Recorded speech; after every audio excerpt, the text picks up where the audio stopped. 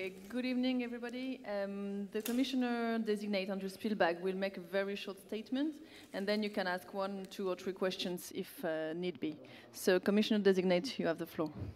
Well, I'm very honored that uh, president decided uh, to designate me for development cooperation.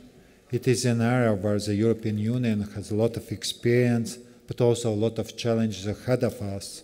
So I have had uh, well, uh, rather tough three hours with the members of European Parliament. But I think the basic points that they are worried that uh, in the development of external action service that we should not weaken uh, development cooperation policy. And I can fully assure, and I try to assure European Parliament that it will definitely will not be the case development cooperation policy will stay strong policy of the European Union. Thank you. Are there any questions? I don't see any, so thank you for your presence. Thank you, Commissioner.